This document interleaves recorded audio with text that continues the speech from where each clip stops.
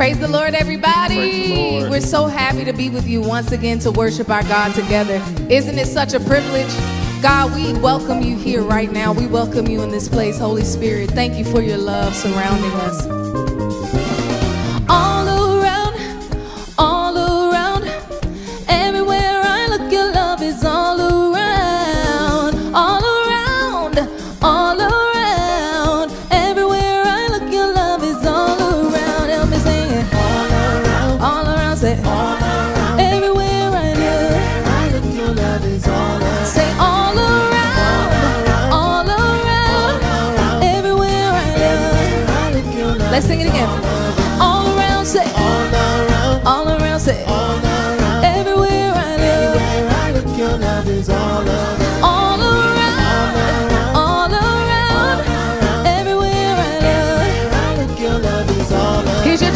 Put your hands on it. Put your hands together. Hey. God, we're grateful for your love. It's too high for us to climb, too deep for us to understand. Thank you, God. Let the nation sing. Let the nation sing. Let the people shout. Lift up a shout of praise. Hallelujah. Let your kingdom come. Let your kingdom Pour come. your spirit out. Pour your spirit want you to manifest, Manifest, manifest your love. manifest your love, manifest Manifest your love.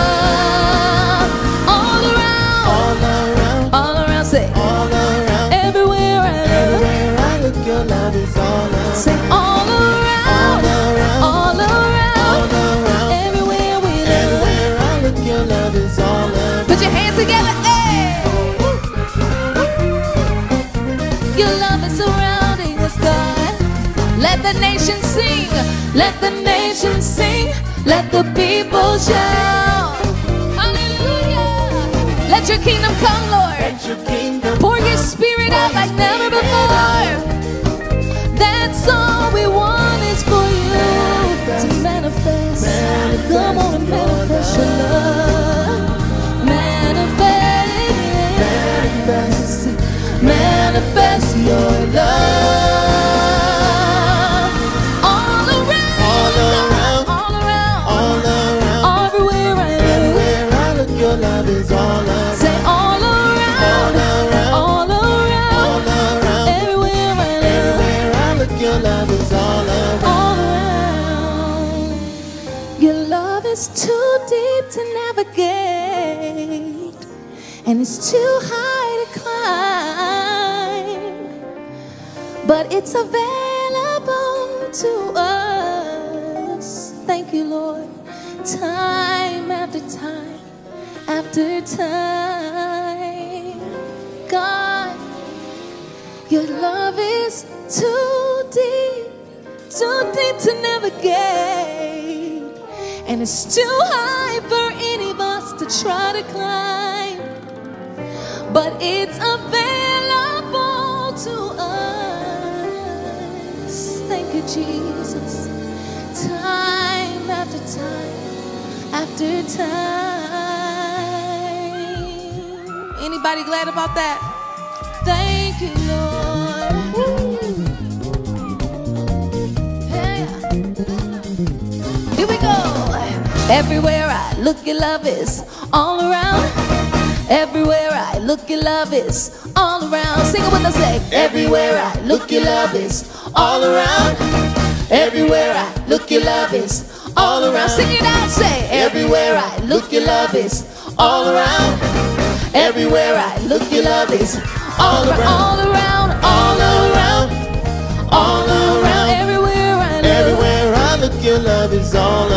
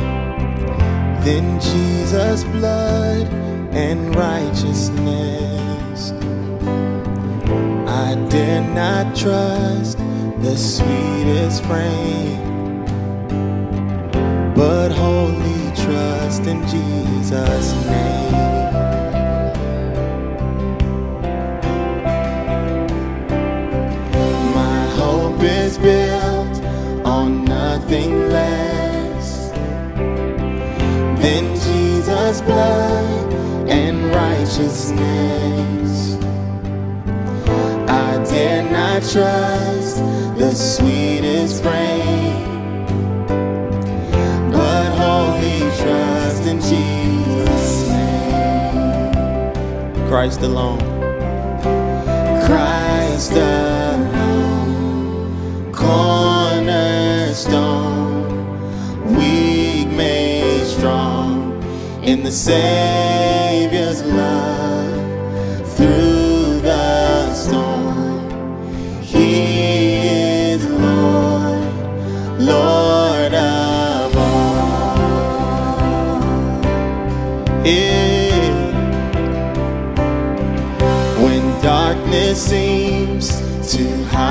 His face.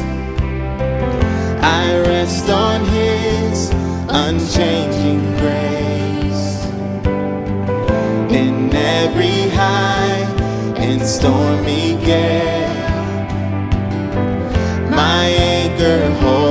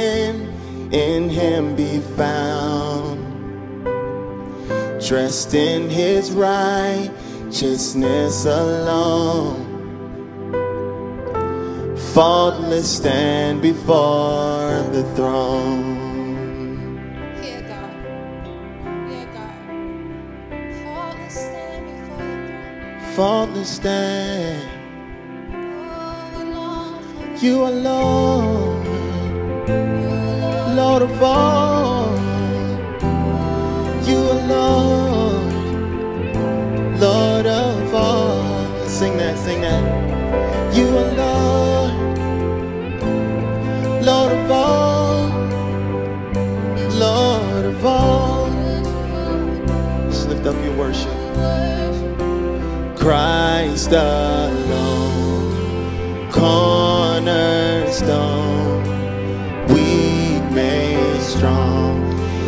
In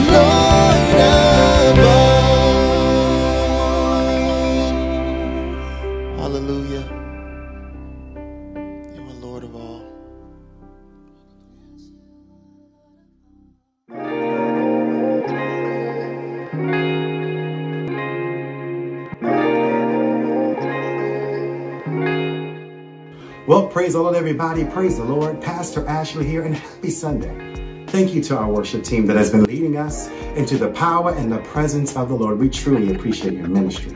Well, welcome. Welcome, Life Church. Welcome, family. Welcome, friends, and especially welcome to our visitors. We know there are many services you could have tuned into today, but we're so grateful that you've tuned into our service and we want to connect with you. So if you have not done so already, take a moment and subscribe to our YouTube page. Follow us on Facebook and Instagram. We look forward to connecting with you. Well, I want to take this moment to give a happy birthday shout out to our dear brother, Brandon Burton. Happy birthday, brother. His birthday was on Friday, and we just want to take a moment and say, Brandon, we love you. We thank God for you. We appreciate your life and your ministry and how much you are blessing us here at Life Church, and we know how much God is going to use you to bless the world. Brother, may God continue to bless you, and may God continue to increase you and your family. Life Church, let us flood him with our love and our celebratory appreciation. Happy birthday, brother.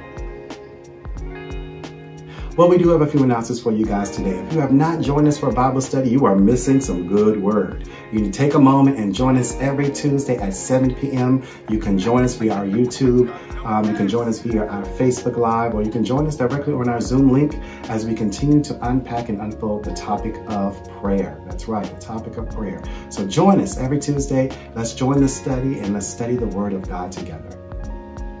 And speaking of prayer, join us every Thursday at 7 p.m. via our Zoom link for our prayer time. It's so good to hear the saints of God coming together to pray and receive how God is truly uh, and humbly answering our prayers as we come before Him. So come and join us Thursday at 7 p.m. as we seek God in prayer.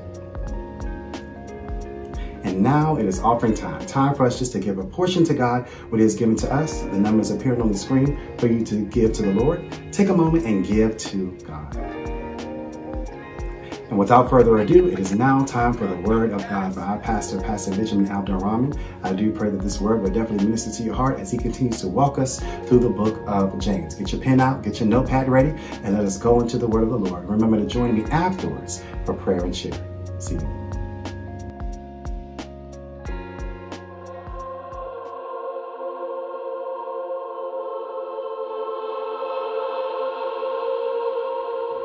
Good afternoon, Life Church. This is Pastor Ben here, and I am excited to be with you all uh, for this Sunday virtual worship experience. So grateful that you guys have decided to join us uh, for uh, this time in the Word.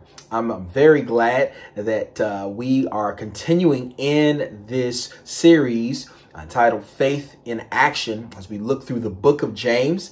And I pray that you guys have been edified so far and you guys have been encouraged. I'm very grateful uh, that um, we are able to be challenged in the way we have been by the Apostle James and um, just given so many awesome uh, uh, uh gems and uh, great insights into what it really means to walk out this Christian life. So I'm going to pray and we're going to continue as we uh, dig into another concept, a concept I think really connects to the entirety of the book, uh, but I believe will also uh, give us uh, some some really really important understanding uh, when it comes to what's going on on the inside as we seek to live out this faith in a way that others may observe. Let's pray. Heavenly Father, Lord, I thank you for another opportunity to dive into your text, God. I thank you for uh, the the privilege um, of being able to be called one of your own. And I just ask, God, that you would lead and guide my words, Father, that the uh, text would uh, become all the more clearer to all of the hearers, that they may walk according to your will, that they may seek your way, that they may uh, follow you in everything that they do, Lord God. I pray that if someone does not know you uh, truly, Lord, I pray you would open their eyes and that this sermon would be used for that purpose, that they would have a saving relationship with Jesus Christ. But I also ask God that for those who do know you, that they would be encouraged to continue running on, to share the good news of Jesus Christ to others, and also to be built up in their faith as they encounter so many different trials, God. Uh, Father, hide me behind your cross. Let your word take center stage and grab hold to the hearts of the hearers so that they would grow in maturity and that we would apply what is said in the text. We ask all these things and trust and believe in your power to do this. In Jesus' name I pray. Amen. Amen. All right. Now, I, I, I want to uh, begin by uh, discussing a particular idiom or proverb. Uh, it's more modern um, that a lot of us have heard before. Have you ever heard the saying, uh, you can't have your cake and eat it too? Know, some of y'all just got hungry thinking about it right now. But yeah, yeah, it, it's something that is communicated uh, and it is shared in our culture. I'm sure many of you have heard it before. And one thing that I thought about uh, as I examined the passage we'll be going over today was how much that particular proverb uh, really relates to what is said in James chapter 3, verses 13 through uh, 18. And also how much this idea of not being able to have two things that you may desire but are ultimately opposites or contradictory uh, it, it, just is a, a fact of life. You know the older i get i realize you really can't have your cake and eat it too right? You, you can't be uh, rich and poor. You can't be a hard worker and uh, lazy you you you have to choose one or the other because the two things are in conflict. They can't be at the same time.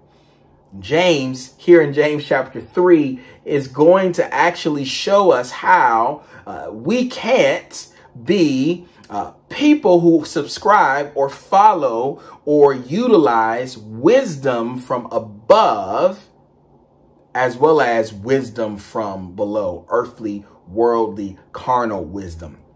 James lets us know in the passage we're going to look at that, listen, wisdom of heaven and wisdom of the world do not coincide.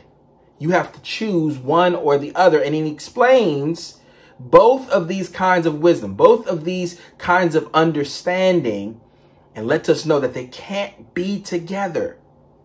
That it's either one or the other because they are opposites from one another. let, us consult the text. James chapter 3, verses 13 through 18. And it reads in the English Standard Version Who is wise and understanding among you? By his good conduct, let him show his works in the meekness of wisdom. But if you have bitter jealousy and selfish ambition in your heart, do not boast and be false to the truth. This is not the wisdom that comes down from above, but is earthly, unspiritual, and demonic. Earthly, unspiritual, demonic. For, the, uh, for where jealousy and selfish ambition exists, there will be disorder and every vile practice. But the wisdom from above is first pure, then peaceable, gentle, open to reason, full of mercy and good fruits, impartial and sincere. And a harvest of righteousness is sown in peace by those who make peace. The wisdom that's from above, the wisdom of heaven, the wisdom of God versus the wisdom that's below. The wisdom of the earth, the wisdom of the world, the wisdom of sin these are the two perspectives we're going to be discussing uh, this Sunday and next Sunday. And what I want to do is help us to really challenge ourselves to see if we are really utilizing the wisdom of God and how that's supposed to look in our lives and also understand when we're utilizing the wisdom of the world, the wisdom that is below. Let's dive into the text. Verse 13. It says, Who is wise and understanding among you. By his good conduct, let him show his works in the meekness of wisdom. Now here, James is just giving us a general picture, which is, I think is a general picture of the entire book. He's saying very simply, look, if you're wise, if you have wisdom, and he's talking about the wisdom that's from above, then whoever is supposed to have wisdom and understanding, the one that says they have the godly wisdom, the heavenly wisdom and understanding, they should have a life of good conducts and works that show up in the meekness of that wisdom. This is the thing that we've been seeing consistently in the book so far, right? Your faith should have works to go with it. If you have this godly wisdom, it should show up in how you act, in how you live. But that term, good conduct, is a very good anchor for understanding the wisdom that is of heaven, the wisdom that is from above, the wisdom of God. The wisdom of God is always going to show up as good conduct. The wisdom of God is always going to show up as good conduct. Now, I want us to really unpack this idea of good conduct. This basically just means good behavior, okay? Good works, good actions. The reason I feel like we need to really unpack this is because, well, if we're honest, there are a lot of different definitions of good. There are a lot of different ideas today of good. When you say something is good, you can't assume that a person automatically understands what you mean by good. Today, good can be uh, examined or defined in many different lenses and perspectives. Some people define good based upon the body. So good will be defined uh, by their senses. So what looks good, what smells good, what uh, ultimately feels good, what tastes good is good. The problem with this, when we think about our senses, is our senses can deceive us. So sometimes what looks good, what tastes good, what seems good, what feels good can ultimately end up to uh, uh, be uh, a part of our demise, something that is bad for us. Some of us have experienced that with food. Some of us have experienced that with relationships. Some of us have experienced that with different deals or partnerships or things that we've gotten ourselves involved in. At the end of the day, we know that sometimes our senses can fail us. So that idea sounds good, but it doesn't really check out. Some would define good according to others' experience. So, so here's what I mean by that. Your actions can be considered good as long as they don't hurt somebody. As long as they're not imposing upon somebody. Now, two main objections to that idea is, well, people have different perspectives of hurt. So we can't really define that in technical terms, right? Like One person may think that you saying um, uh, what's up to them is disrespectful. It could be something that's hurtful. It could be something that they feel like, hey, that's not that's not showing that you respect me. Where you're in another environment, you say that and it's upbuilding to that person. People have different ways in which they interpret aggression or violence or hurt. And also, when it comes to uh, bodily harm, we have to recognize that hurt isn't always a matter of someone physically being hurt. You could say, well, it's good as long as someone's not physically hurt, as long as you're not killing somebody or you aren't hurting somebody in some way. Well, there are ways that you can hurt a person and not be bodily harm, right? Our senses can't be the final say on what is good, and other people's senses, other people's bodies can't be the final say either. The other thing that defines or can define goodness is society and culture. You know, the government says certain things are good, they're good. If the culture is generally accepting of a particular thing now or uh, encouraging something, that means it's good. This is problematic because we can just look at history and see several atrocities that have taken place, genocides and all sorts of things, where it was decreed by law and it was accepted by culture. Yet, in retrospect, we would say it was wrong to do. It was not good. So, what's the big problem with all of these perspectives about what is good? The common misconception and issue with the perspectives we have about what is good is ultimately they are defined by man. And this is what really gets us to the core issue between the wisdom of heaven and the wisdom of the world.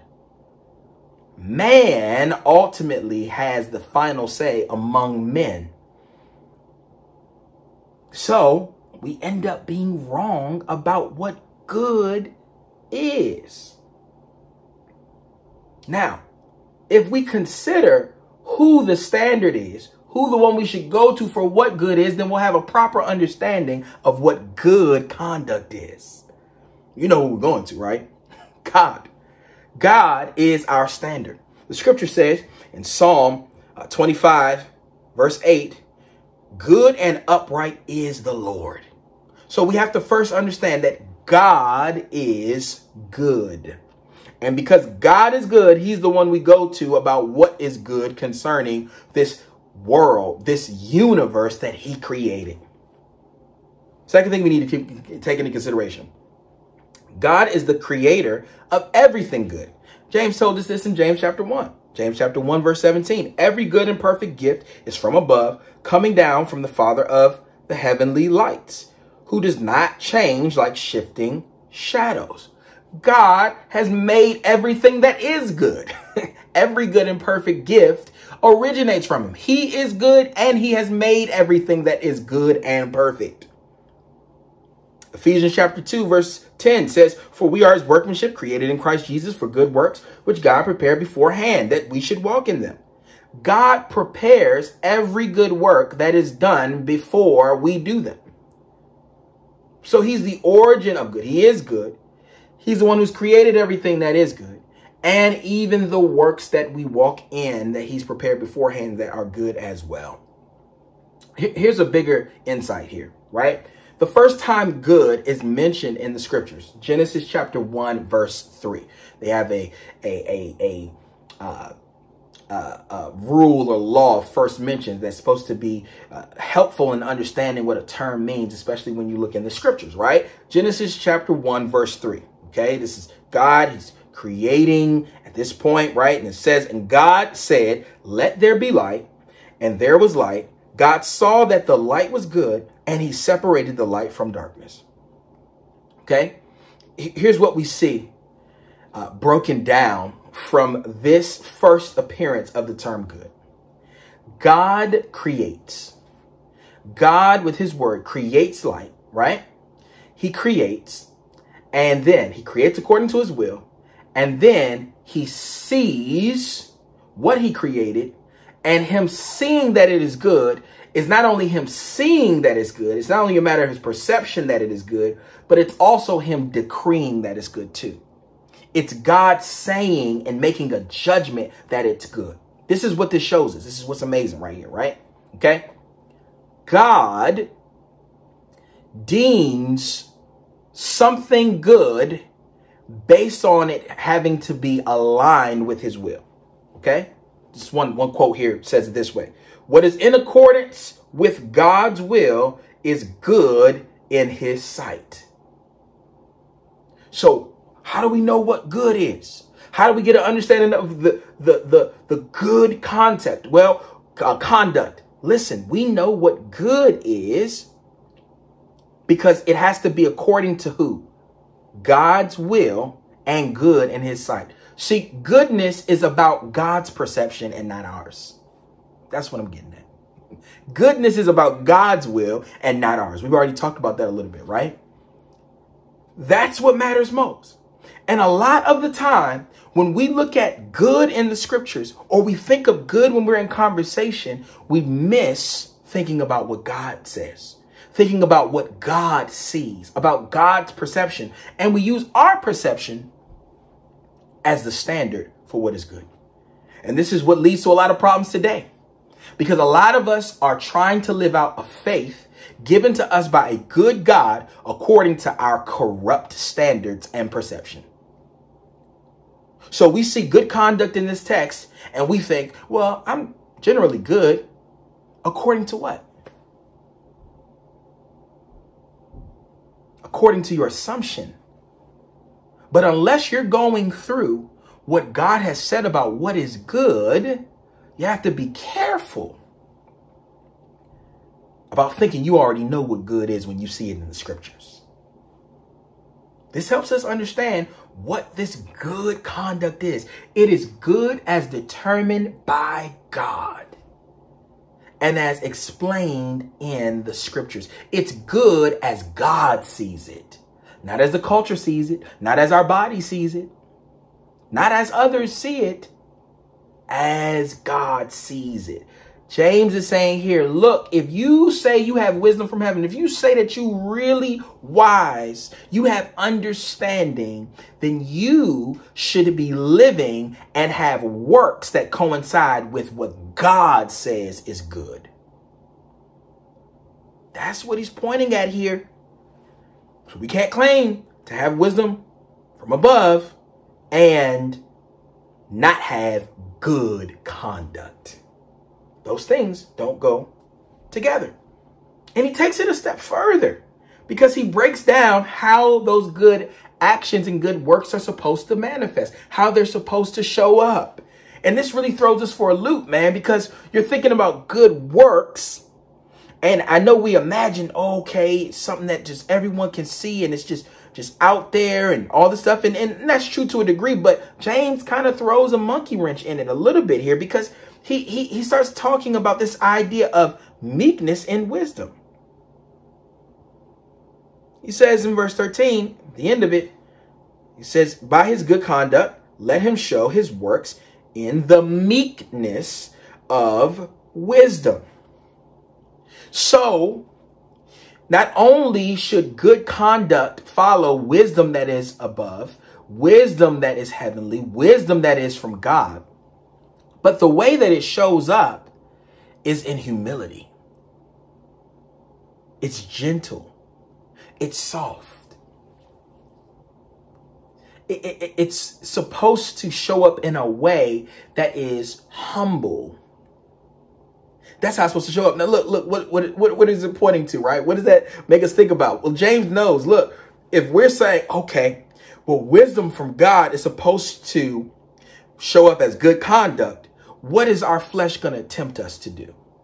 Have a megaphone ready to let the whole world know of every good work that we're doing. so, so James is saying, hey, look, it's about good conduct, but it's about good conduct that is shown through humility in a gentle, soft, and subtle way. Not in a way that has us just out here. Hey, I did something good. Uh, uh, look at me. I'm doing all this good stuff. That's not what the challenge is trying to push here. We have to be mindful of this. We have to be careful of that, right? Being someone who wants everyone to see our good works, but now it's not about glorifying God. Now I know sometimes we hear this and I'm like, well, you know, I'm I'm humble, or we think that we start saying that type of stuff. But I just want to be clear. Humility is something that's observed. At the point that we start talking about our humility or how humble we are, we cease to be humble. And James knows this. James is like, listen, good conduct should follow the wisdom of God and it should appear and it should be presented in humility. It should not puff up. Huh? God knew in his sovereignty, speaking through James, that we would be the type to take the good conduct statement, good behavior statement, and say, oh, that means I need to just flex on everybody with goodness that I see in the scriptures, not knowing that the humility part is essential to how that's supposed to show up. Why does James break this down? This because he wants us to really get the difference between wisdom that is from God, wisdom from above, and wisdom that's below. He starts going into this because that that humble, that meekness portion has a lot to do with what we see in the wisdom of the world, in the wisdom that's below, in the wisdom of the earth, in the carnal wisdom. Let's continue. Verse 14. But if you have bitter jealousy and selfish ambition in your heart, do not boast and be false to the truth. Look at what's happening here. You have meekness and wisdom, which is accompany or goes with good conduct. And James says, but here's the other side. The opposite of this is bitter jealousy and selfish ambition in your hearts. And he says, then do not boast. What? And it's also what? Boasting. It's boasting. And being false to the truth. That's a weird term, and we're going to break that down a little bit later. This is why humility has to come with the good conduct. Because it could just be an opportunity for pride and being puffed up. Let's think about wisdom below for a little bit. See how he shifts it. Wisdom that is below, wisdom of the world, wisdom of the earth, has bitter jealousy at its heart. Bitter jealousy. What, what does that mean? It's the idea of eager rivalry or emulation. Emulation just means an effort to match or surpass a person or achievement, typically by imitation. So so here here's what bitter jealousy looks like here. It's the egotistical pursuit of outdoing somebody. Uh, uh, of trying to one up someone. You've observed what someone else has, what someone else is doing, and now your motivation is to outdo that person, is to one up them. And it's connected to you imitating what they're doing. This is the wisdom that is below. Now, I know a lot of us now, we're not going to admit we're jealous. right? Who, who's going? Oh, I have a jealousy problem. No one's going to really just stand out here and say that they have an issue with jealousy. But trust me, these sins that James is talking about here, they creep up on you. And we're looking at others and observing what other people have going on. And something in us says, I want to beat them. I want to get to where they are. I want to surpass them. This is wisdom from below, and it's not the wisdom of God.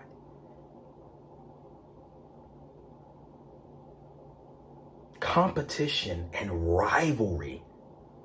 But how, how does this keep connecting to what James is talking about here? We'll, we'll, we'll get to it some more, but let's look at selfish ambition. The picture that shows up when you look at this term in the original language, right, selfish ambition, is actually the picture of a politician. It, it, it's the picture of, of, of somebody who's trying to get in office. Now, I'm not saying every politician is horrible or the worst in the world. So don't think this is a this is an argument against politicians, okay?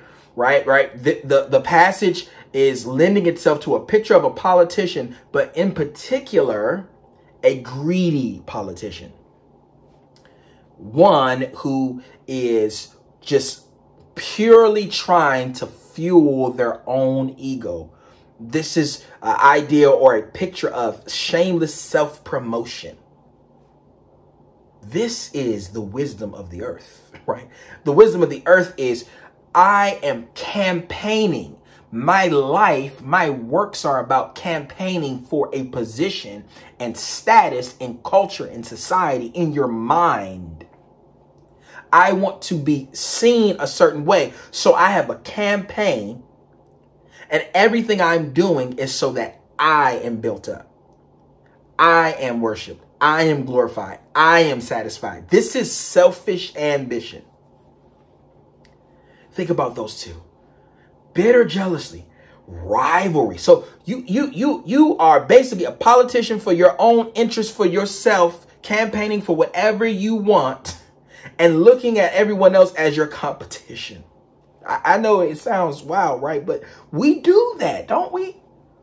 Don't we slip into that way on our jobs, in our families, among friends? Oh, I'm so mad that they have that. And I want it. And we're pushing to try to get what they got. And it's the wrong motivation. Bitter jealousy and selfish ambition. Now, now here's what here's what what is wild about this. And, and I want to I want to state something too before we even move forward. When I talk about selfish ambition, I know a lot of us get so scared because today we are really sensitive about talking about selfishness because if we're honest, you know, culture we live in and time we live in, a lot of times people will neglect themselves, being a workaholic or you doing so much you know, for others, being a, a culture that's bent on people pleasing and things like that, we will miss doing for ourselves. There's a passage later on in uh, the, the, the, the sermon where we're going to deal with that just a little bit. But I do want to be very clear. No one's saying you can't do things for yourself. Okay. Now, I will say, be careful. If every time the idea of selfish ambition comes up, you have an argument right in the back of your mind that's like, well, I got to do for myself. Okay, watch it because that could just be you protecting the idol, right? But in general, God wants us to take care of ourselves. he wants us to take care of ourselves. So self-care ain't bad, y'all. No one's saying that. But selfish ambition is. And selfish ambition will attach itself to self-care. You got to watch out. That's what I'm saying. These are sneaky sins. So it's best to have a posture before the Lord, before the word to say, God, if that's in me, search it out. Just want to make that clear before we move on. Notice the shift in the text from what James does here in verse 14. How he ends this idea. He talks about bitter jealousy, selfish ambition, not boasting, and then what? Being false to the truth. Weird way of, of, of, wording it, right? Do not boast and be false to the truth. What what is what is James getting at here? What is he showing us and teaching us about wisdom that's below, the wisdom of the world? We get it. Bitter jealousy, selfish ambition, we don't want that. But this is what's crazy about it because when we look at those two sins, it's very clear that those are bad. Now, I made it also clear that it's something that we all would struggle with in some way and it can creep up on us. But what, what is the real relationship to this whole idea of good conduct and who thinks that they're wise among you, right? And, and meekness with wisdom. Like wh where is James really going? And why is he using this weird phrase being false to the truth? Here, here's the key here. The picture that James is presenting of the one who has the wisdom of the earth, the wisdom of the world, get this, and this is this is very important for us to understand, is someone who presents a form of godliness, but internally has sinful motivations. See, we, we looked at the picture of bitter jealousy and selfish ambition, and we thought of a person who's just outwardly uh, voracious in every opportunity and going after this and going after that and selfish and doesn't care about nobody. And we're like, okay, well, at least I'm out of this. But James's picture is someone who boasts and is false to the truth. This is what that term means. To be false to the truth is to say you are boasting of works. You are boasting of works that are good, but you're motivated by bitter jealousy and by selfish ambition. So you're being false about true wisdom. You're being false to what true wisdom is, to the truth. We got we got to think about that now. James is letting us know what's going on inside of you. If you're boasting about every good work, that, that's really coming from a place where you are really in competition with everybody. You're you're really just doing this for yourself. But it looks like on the outside, you're really about doing what God says and you're pointing it out that you are. But inside, this is this is really a time to be transparent. The word is, is searching us in this type of text, and we got to be real. Are some of my works about being seen? And this is not just any types of works, works that are religious, works that are from the outside eye righteous, works that could line up with God's word. But James is saying, look, the motivation can be off though. You need to check that. We need to check what's going on inside.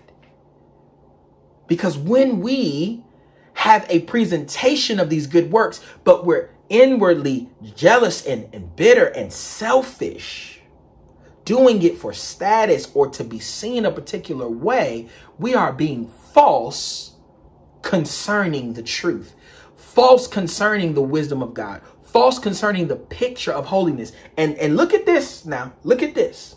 Look at this. James goes really deep on us here. He lets us know what this really is and why we need to take this serious because we can listen to this and say, yeah, but you know, I'm just going to go about it. It's too confusing to try to think through this. Look at what, how James raises the stakes. And he always does that, doesn't he? Verse 15.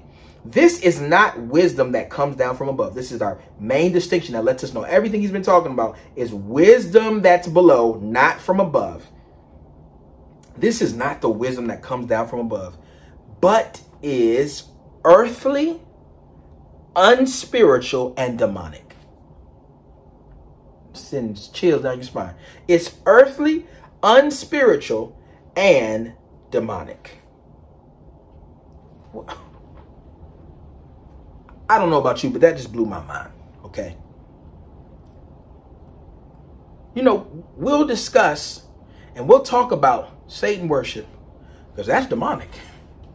Some occult stuff, that's demonic. And look, we should. It's we should call the things that are wrong wrong. Sexual morality, man, that's that's some wickedness going on with that. You know, uh, uh, rich oppressing people and just, you know, throwing people out on the street, horrific atrocities we see all the time. That's that's evil. That's wicked. But how often do we know that when we have a jealous rivalry type of heart or a self-promotion mentality among the believers that that is demonic? That's demonic. That's evil Think about what James was saying earlier in chapter 3 when he was talking about the tongue. He said it's it's set on fire by the fires of hell. He's saying, look, don't overlook this heart and that jealousy that is, oh, that was just a little thought. Oh, okay, I want it, but can't no one see that? Or the self-promotion, oh, I want to get to this place and I want people to see me. And you know what? I, I say this to you guys all the time. It may not even come out in a term. It may not even present itself as a phrase in your mind. You know how it works for me?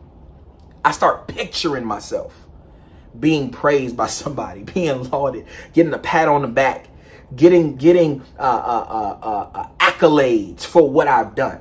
I'm not gonna fix my lips or even my mental mouth to say it, but I'll sure enough have a picture in my head. James is like, that's demonic. Think about why it is though. It's perverting and distorting the image of godliness. Because it's the idea that as long as I have the outer things, I don't have to address the inward stuff, which is even worse because you are then masquerading and covering up as someone who submitted internally, spiritually to God, but your works really come from a worshiping of you and a worldly perspective. So you're really messing things up all the more. It's demonic. That's what James tells us. We got to take this serious this wisdom that's below, this wisdom of the earth, that's how people work in the world around us. We all know it. People just chopping each other's heads off to get ahead, promoting themselves. The greatest works of hospitality ultimately pointing back to how great of a philanthropist a person is or great of a humanitarian a person is. It, it just all keeps going back to self, self, self, self, self, self, self. It's demonic. And we need to be so careful and ask God to deliver us from it, from what's going on on the inside of us. Begging God remove a heart of bitter jealousy and selfish ambition and promotion. Help me. We're going to get to some points on this. We're going to get some points so we can get some answers to how this works. But James has more. but wait, there's more for us to look, to look at, to examine. Verse 16.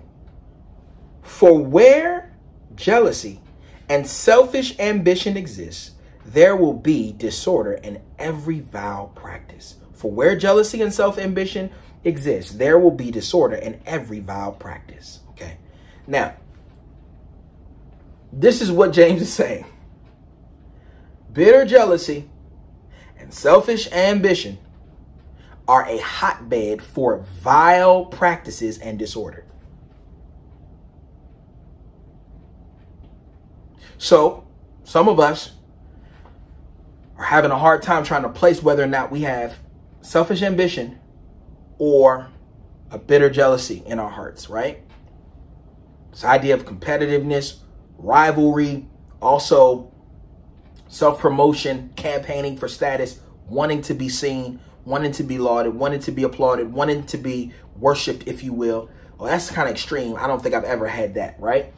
But I'll say this the passage gives us a good detector of whether or not there is jealousy in our hearts or selfish ambition in our hearts. The disorder and the vile practices. Okay. See, we don't know the connection between some of the wicked things that we do or things that we do that we know that's that's out of whack and we say well, where did that come from james is giving us a key here he's saying look it begins with jealousy and selfish ambition, self promotion, wanting status. See, let's be real. We, we think that the drinking is about just, you know, wanting to chill out a little bit. The, the addiction, if you think that's about that. No, there's something we're trying to achieve. There's something we're trying to get from that process. We think the sexual immorality is just a matter of you know, us wanting to feel good for a moment, but there could be some rivalry in the heart that's making a breeding ground for the vile practices. We think some of the disorder and some of the things that we run, some of the things that we're trying to do, some of the things we're trying to handle, we're we're overseers of. And they can run the list. It could be family, it could be your job, it could be an event, all that stuff. We think the disorder is because, you know, people just don't know how to work and do things my way and, and get it done right. But we don't get that. You know what? There's a selfish ambition in me that makes it sinful or or or gives way to sinful practices and how I deal with people. So now it's disorder. I have a jealous heart and it's showing up because everything's in disarray because I'm engaging out of that disposition. It's not always just going to be you see the jealousy in your heart and you accept it, or you see the selfish promotion and the selfish ambition because look, we're all having to do things for ourselves.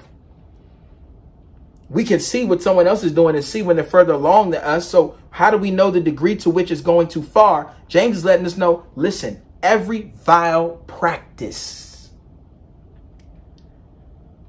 disorder, it lets you know, you know what, there's something, there might be something going on in my heart. Bitter jealousy may be there. Selfish ambition may be there. And when we start noticing the actual actions and seeing what the root problem is, then we can start addressing what's going on inside and then order can come. Then righteous practices can come. Now, now this idea of vile practices is a very interesting term because it's the picture of an egregious, horrific sin that can be done easily. something really bad that can be done easily. And, and I'm gonna tell you how it shows up in my life, right? When I can uh, be argumentative or have an angry spurt very easily, something's wrong. Something's wrong. When we can jump into certain acts or or things that are against God, practices against God, and we're like, why, why am I even going there? We need to start saying, what's going on in here? Is there a competitive or rivalry mentality I have going on as I'm as I'm going about my day and my life that's building up a sinful disposition? Is, is there a, a selfish promotion that I'm that I'm formulating here? Because the practices are not what? Good conduct. James is helping us out here. He is helping us out. Now, next week, we're going to go deeper into good conduct as we close out the verse. But I want us to consider some things as we look at the wisdom that's below. As we look at this bitter jealousy, this selfish ambition, and we think to ourselves, what are we supposed to do with that part?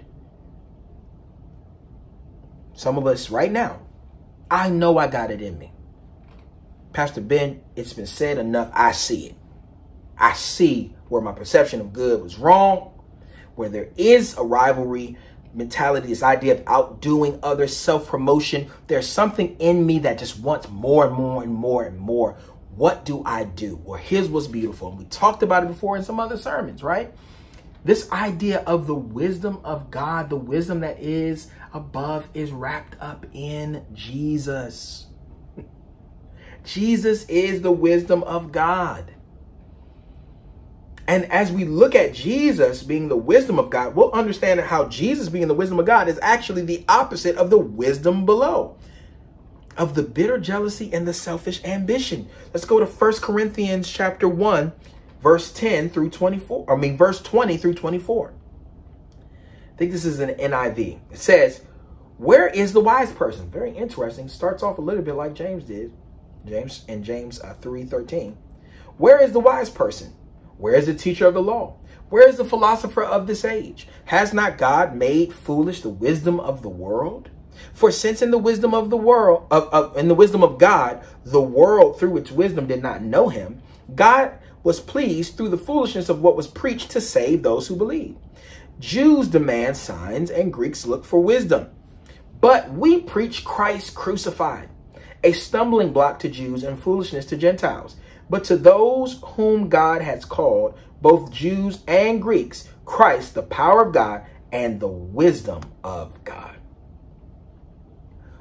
Think about this for a second. The wisdom of God, the wisdom of heaven, is always going to go against the wisdom of the world. James explains the wisdom of the world as being uh, a heart of bitter jealousy, selfish ambition, boastful, and false to the truth. Think about Christ crucified. Jesus is a picture, an example of selflessness. He is a picture, an example of complete humility, of putting others before himself, not being in rivalry and competition with others, by dying on the cross. This is why Jesus is the wisdom of God, and the wisdom of God is the opposite of the wisdom of the world. The gospel that saved us, that brought us into right relationship with God, screams humility, screams selflessness. So, how can we be saved by a selfless Messiah who died on the cross for our sins not in competition, not in rivalry. How can we be saved by this gospel and not display selflessness to others? Not put others before us. We have to look to Jesus. We sit back and we hear stuff like this and we're like, well, what am I supposed to do? look to the Lord. And also know that you're looking to the Lord to spawn works that is doing for others, considering others. Well, Pastor Ben, you, you can consider others, but still be doing it for selfish reasons. Let me tell you something. Your consideration of others and your doing for others, and I've experienced, and I'm sure many of you have, is going to push you beyond your selfish promotion. Trust me if, if you're really trying to consider someone else and do for someone else, you're not going to be able to keep it up for too long.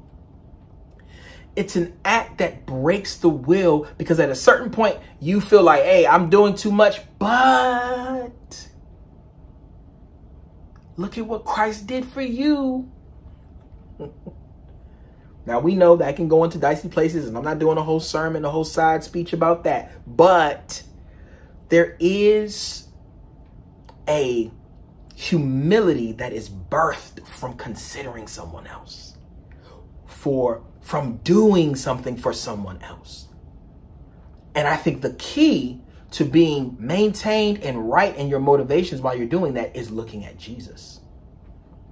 See, the other side of this, the rivalry side, the self promotion side, it comes from not having your focus on the right person, the right one. You looking at other people, not looking at Jesus. Philippians chapter 2, verse 5 says, Do nothing from selfish ambition. I'm sorry, not verse 5, verse 3 through 8.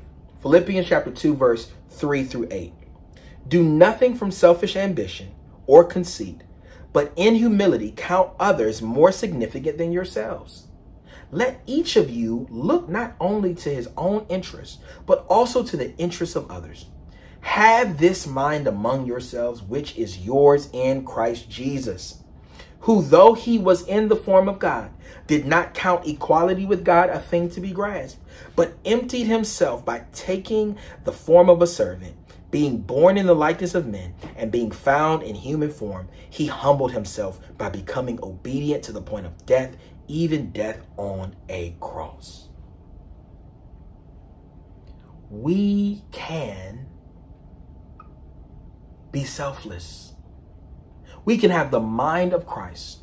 And Paul in Philippians chapter uh, 2 lets us know that that looks like considering others, putting others before you, not doing things out of conceit and selfish ambition. Well, how do I focus in on that? How do I do that? Look at Jesus.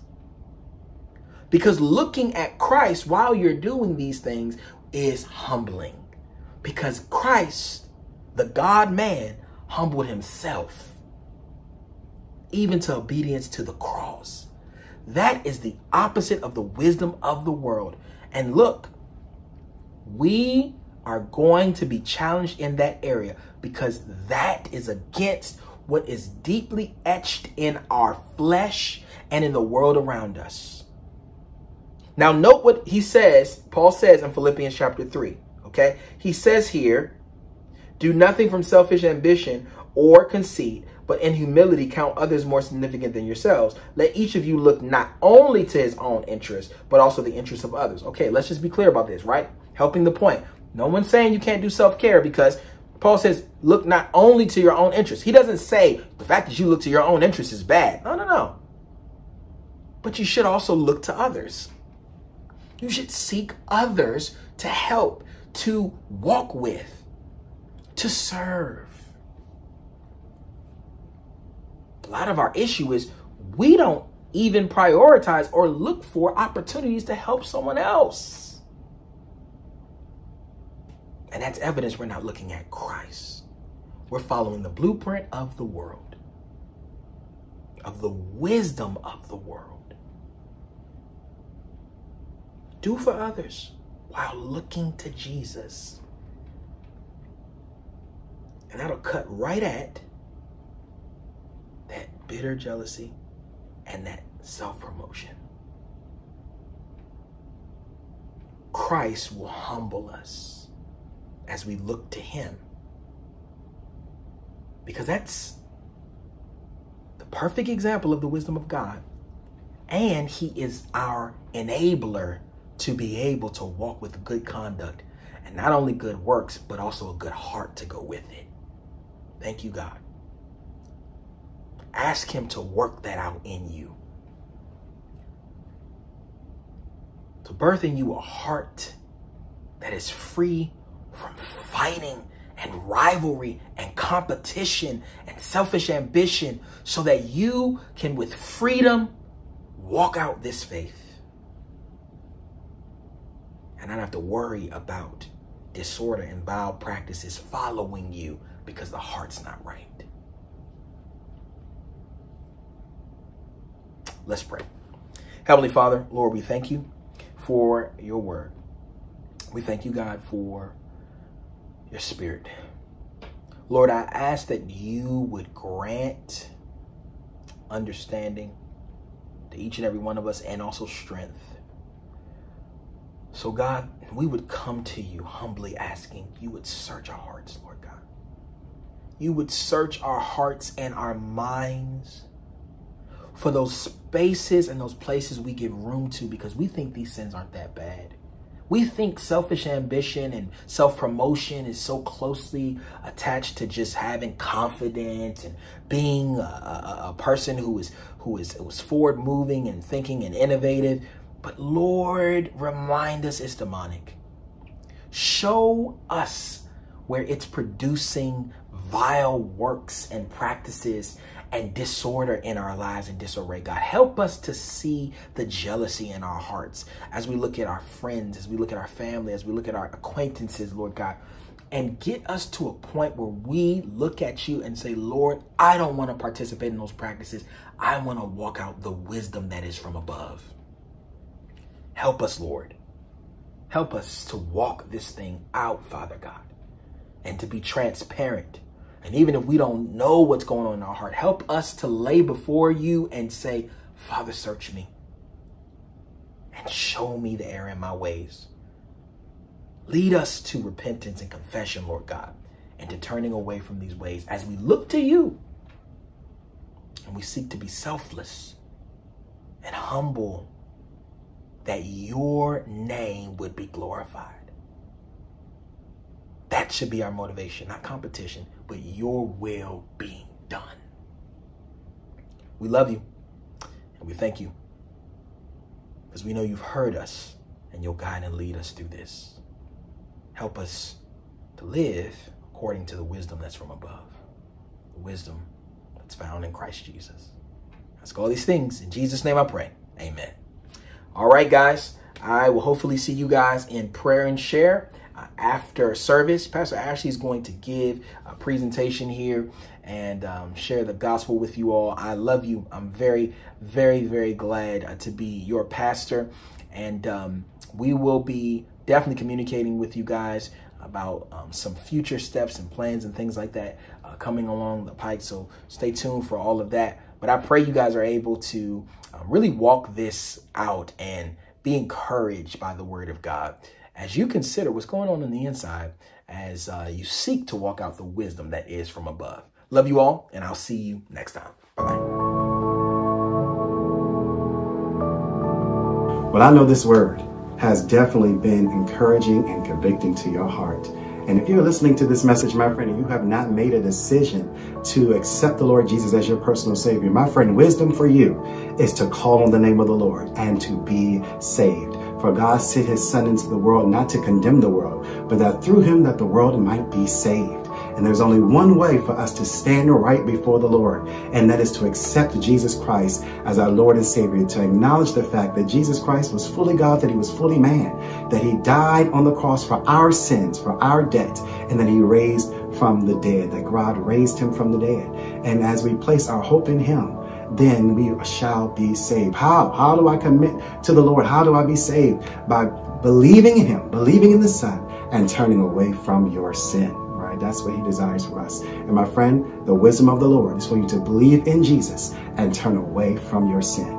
And so let me pray for you. Father God, in the name of Jesus, I pray for everyone under the sound of my voice that who has heard this message and that you are pricking into their heart to come into fellowship and relationship with you. I pray, God, in the name of Jesus, that they will understand and know Jesus, understanding that he is the Son of the living God, that he is Lord, that they will submit to his Lordship, that you'll give them the grace to believe you, to trust you, to have faith in God, and to turn away from their sin. Father God, save my brother, save my sister, Lord God, in the name of Jesus, and draw their hearts closer to you, Father God, Lord, in fellowship and relationship with you. May they connect to a Bible believing church where they can grow in their faith and in their relationship with God and continue to grow in you. Father, we love you. We thank you. We ask all these things to be done in Jesus' name.